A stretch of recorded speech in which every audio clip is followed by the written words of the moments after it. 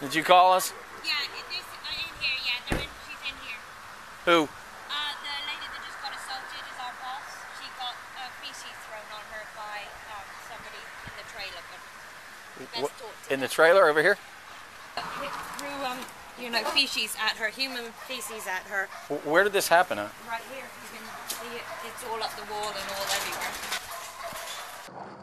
Hello. Hello. What happened? Hello. All right. Thank you, ma'am. I think I can hang up now.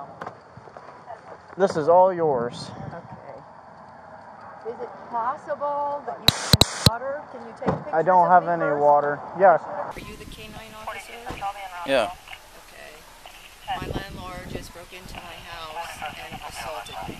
There's both of them covered in crap. So I'm not sure what the hell's going on, but But you you understand this has been going on. I don't know anything. All I know is you're covered in feces, she's covered in feces.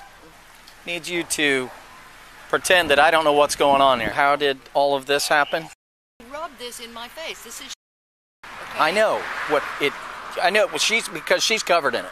Can I ask you something? And again, this is just me being me. She's covered in liquid, basically feces. Because I was running.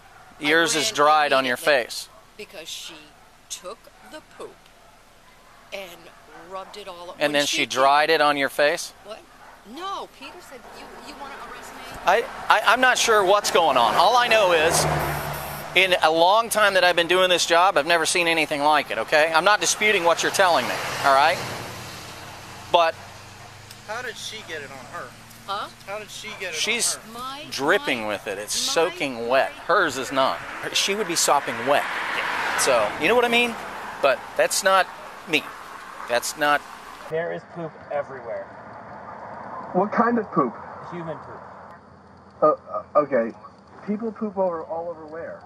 The feces that Mhm. she says was just smeared on her face is dry. Okay. So looking at the feces that is all over the trailer that was allegedly in the scuffle is not dry, and it is spread just as thin as on her face. Okay.